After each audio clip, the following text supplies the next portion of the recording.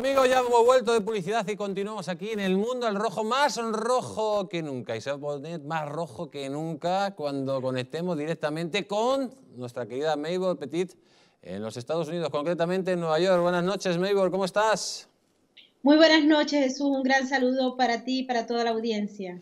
Maybor, hoy viene muy calentito, sobre todo de noticias del pollo, que iremos poco a poco desgranándolas, y también hablaremos de esa denuncia ante el Tribunal de Derechos Humanos contra, contra Maduro y su, y su régimen criminal. Maybor, vamos a empezar. La primera de todas las noticias habla de que PDVSA renueva su defensa a Garzón, mientras los Estados Unidos le acusa de financiar las FARC. Esta noticia, que ha sido un reciente, que lo ha hecho en exclusiva, es, es diario, eh, deja a las claras de que la maquinaria del narcotráfico, de esa mega organización criminal, funciona a la perfección y además que la clave de toda esa financiación ilegal y tramposa pues viene a través de PDVSA, de la petrolera venezolana, ¿no? Así es, eh, bueno, se ha conocido también y hemos tratado de certificar que la, el escritorio jurídico del juez Garzón o del juez Garzón ha reanudado simplemente porque tenía unos convenios con un escritorio jurídico de aquí de los Estados Unidos, específicamente de Miami, que lo había subcontratado eh, hace ya prácticamente cuatro años y ahora renueva ese proceso ya directamente con PDVSA. Nosotros, Jesús, estuvimos uh, conversando con varias fuentes de eh, la industria petrolera venezolana que nos confirmaron que en un inicio ese contrato no estaba eh, prácticamente directamente vinculado con el juez Garzón.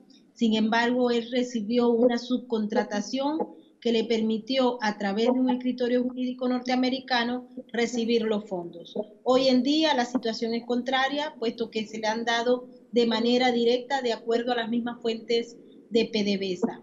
Y esto llama mucho la atención, motivado a que el contrato ha sido de reciente adquisición, lo que quiere decir que todavía PDVSA tiene fondos para contratar a abogados externos que le hagan lobbies con la empresa y con las fiscalías. El caso de Baribén es uno de los puntos claves en ese contrato eh, porque el gobierno venezolano quiere rescatar algunos de los fondos que han sido extraídos por tribunales internacionales a las víctimas de Baribén. Beibor, eh, te voy a leer estas otras dos noticias. Dicen que el Pollo Carvajal dice que el CNI le protegió a cambio de informar sobre Podemos y le facilitaron un NIE. Y la otra noticia que nos habla de la investigación sobre la financiación ilegal de Podemos que seguirá adelante con los testigos del Pollo Carvajal. ¿Qué nos puedes contar de esto, de estas dos noticias? Pues de los testigos hemos tenido conocimiento que una de las personas que pueden estar en esa lista es la exfiscal Luisa Ortega Díaz. También se habla de unos exfuncionarios de PDVSA o excontratistas de PDVSA que tuvieron conocimiento de los fondos que fueron enviados desde la industria matriz a los bolsillos de Podemos. En España, aparentemente, según lo que nos han informado, están todas las personas que podrían testificar ante la audiencia en contra del financiamiento irregular de Podemos. Hemos estado tratando de verificar quiénes son los otros nombres que allí aparecen, puesto que tenemos contados y algunos de esas personas que estuvieron vinculados directamente con la industria petrolera en la era de Rafael Ramírez tienen procesos judiciales también en los Estados Unidos y no sabemos si van a utilizar ese mecanismo que está usando el Pollo Carvajal para suministrar información sobre la irregularidad en el financiamiento de Podemos para tratar de que no sean extraditados a los Estados Unidos. Nos han comentado que inclusive una de las personas que estaba presentes en las reuniones que se dieron, hoy en día ha testificado ya dos veces en ese em, proceso que se está dando en la Audiencia Nacional. Maybor, hay, otra noticia que nos habla que la Fiscalía eh, haya en Texas a un jerarca chavista para interrogarle por sobornos de PDVSA. eh, la Fiscalía Anticorrupción, estamos hablando de española, estrecha el cerco a PDVSA, ¿no? Así es, bueno, inicialmente debo informarles que eh, desde la Fiscalía del Distrito Sur de Texas, que queda en Houston, se ha hecho una de las investigaciones más ambiciosas sobre lo que funcionó en PDVSA con una serie de esquemas de corrupción y de lavado de dinero que le permitieron a estos dueños de los contratos, que muchos de ellos están presos, eh, comprar bienes inmuebles en todos los Estados Unidos y en Europa. Eh, hemos visto también que dentro de todas las investigaciones que se han hecho y que se han dado a conocer ya a través de los tribunales, aparecen mencionados varios de los nombres que allí están, pero que también tienen posesiones en España, como es, por ejemplo, Roberto Rincón y Abraham Sierra, cuyo hijo y esposa están en España y fueron revisados porque ellos tenían propiedades, joyas, relojes y una gran cantidad de dinero en España conservado a través de formas irregulares. los nuevos eh, eh, testimonios nos hacen pensar que eh, la Fiscalía en España estaría interesada en revisar esa documentación que hay en Texas y como te digo, hay mucha gente que está esperando ser sentenciada aquí. Nosotros hemos seguido de cerca muchos de los casos, pero particularmente el de Roberto Rincón y el de Abraham Chiera, cuyo esquema de corrupción estuvo vinculado a aproximadamente unas 25 personas, de las cuales cinco residen en España. Y ya una última noticia que quiero que comentes. Estamos hablando del TPI, que abre una investigación formal por delitos de lesa humanidad en Venezuela. Eh, por fin se va a condenar desde el Tribunal de Derechos Humanos, el Penal de Internacional, se va a condenar a ese régimen asesino de, de Maduro. Esperamos que eso ocurra. El fiscal Karim Khan ha dado información sobre la apertura de la segunda fase la primera fase fue de investigación y de revisión y ahora ese memorándum que se firmó con el régimen de Nicolás Maduro en Caracas esta semana que acaba de concluir, pues incluye que el tema no sea politizado. El fiscal dijo claramente que todo su equipo va a trabajar de manera independiente, haciendo caso a lo que muchos habían señalado y es que el régimen quería participar directamente en esa investigación, se le fue negado y bueno, hay que esperar, hay mucha esperanza por parte de las víctimas del régimen de Nicolás Maduro y de Hugo Chávez por justicia. Y esperamos y sabemos que desde el punto de vista del tiempo del proceso en la CPI, es mucho los años, hay veces que se tardan hasta cinco años, pero de igual forma, pues consideramos que este es un paso muy importante para el, tema que tiene que ver con la acusación de delitos de lesa humanidad en Venezuela a lo largo de más de 21 años de régimen. Mayor, un fuerte abrazo, cuídate muchísimo y ten cuidado con la crisis de suministros y con los apagones eléctricos. Así es, eso está alarmante y bueno, hay mucha gente que está tomando precauciones. Compra alimentos, compra alimentos y bombones de butano. Un fuerte abrazo, cuídate mucho. Un fuerte abrazo, Jesús.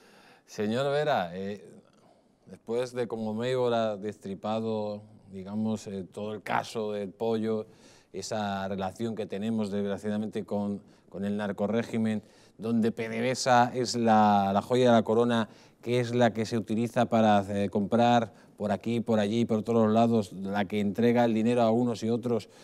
Y luego, como siempre, el señor Garzón eh, metido aquí eh, y ya, claro, está, es, digamos, la, la, uno de los, de, los núcleos de acción del narcorrégimen, sobre todo ahora de representar a PDVSA y a representar al narcorrégimen, ¿no?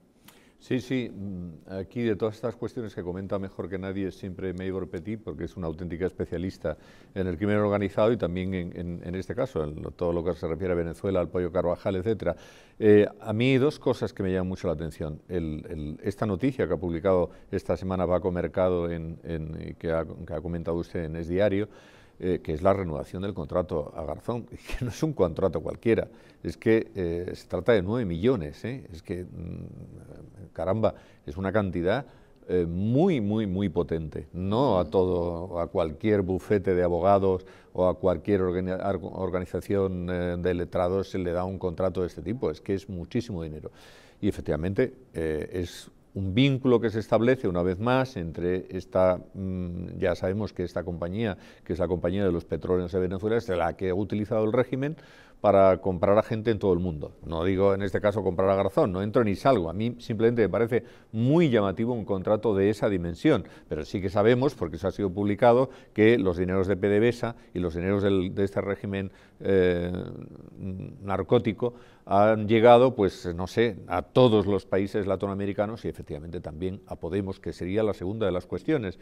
Y que ojalá efectivamente esta investigación que está abriendo y que ha abierto el juez García Castellón en España le permitan que pueda continuar en ella para que salga todo lo que tenga que salir con relación a ese dinero de la narcodictadura, de la narcotiranía, que ha llegado también a España y que efectivamente se sepa las cantidades que han beneficiado a unos y a otros. Luego ya entraremos en si eso ha sido, pues, eh, ha podido constituir delito o no, eso será otra cuestión, pero de momento que toda esa información salga, porque en efecto tenemos derecho a saberlo. Mm, don Roberto Sotero. Bueno, vamos a ver, hay eh, una cosa que es muy obvia. ¿eh? el señor Garzón podrá ser lo que sea, pero no tiene un pelo de tonto, ¿eh? no tiene un pelo de tonto. Entonces, si ha tomado una decisión tan aparentemente escandalosa como que le ha renovado el contrato PDVSA para hacer tráfico de influencias, es porque tiene la seguridad de que no le va a pasar nada en España. Y efectivamente es así. Es que estos mismos días, señoras y señores, ante el estupor de toda la gente de bien de este país, ¿eh? el señor Casado ¿eh? ha traicionado a sus votantes, ha traicionado a España y ha traicionado su ideología, se la tiene. Y ha nombrado, ha nombrado vocal del Tribunal Constitucional a un comunista bolivariano enemigo de España y que va a defender todas estas tropelías que estáis diciendo. Es decir, si en España se produce un seguimiento de todas estas eh, cuestiones que se están señalando, que serían delitos en cualquier país civilizado, y en Estados Unidos ya ni les cuento. Si el señor, eh, el señor Garzón, que insisto, de tonto tiene lo justo, ¿eh? No le ha importado renovar con esta gente de PDVSA, es pura y simplemente porque el señor Casado ha permitido dar un vuelco de 180 grados en el Tribunal Constitucional, ¿eh? de tal manera que ahora quienes mandan en el Tribunal Constitucional son los comunistas bolivarianos. ¿eh? Eso es lo que ha hecho el señor Casado, un acto auténtico de vergüenza y de alta traición. Casado, quedando claro eso, ¿qué, opina de lo que hemos comentado? Pues, eh, ¿qué quieres que te diga? Que mm, lo que se haga en España eh, no va a llegar a ninguna parte, porque los tribunales españoles, ya, en la última y el más importante, ya está en manos de los comunistas bolivarianos, gracias a Casado. Y en Estados Unidos, el problema que hay es que tienen otras prioridades. Y las prioridades que tienen son el tráfico de armas y la coca. Entonces, ¿hasta qué punto el juez de Miami que va a juzgar a este tío que estaba en Cabo Verde y que le ha costado un ojo de la cara a Garzón y no le ha servido para que no se lo lleven a, Miami. Este no va a volver a salir en la cárcel de su vida. ¿eh? Este Pero, habla del testaferro de Maduro. Exactamente. Pero, evidentemente, yo, eh, ¿qué va a hacer el juez de Miami? Según me dice mi amigo, em, eh, bueno, mis amigos en Miami, pero en particular César Vidal, que está allí, todo depende de lo que el juez de Miami quiera y a la justicia americana le interese. Y yo tengo muchas dudas que el tema de Podemos le preocupe lo más mínimo a la justicia norteamericana, a no ser que les afecte a ellos directamente.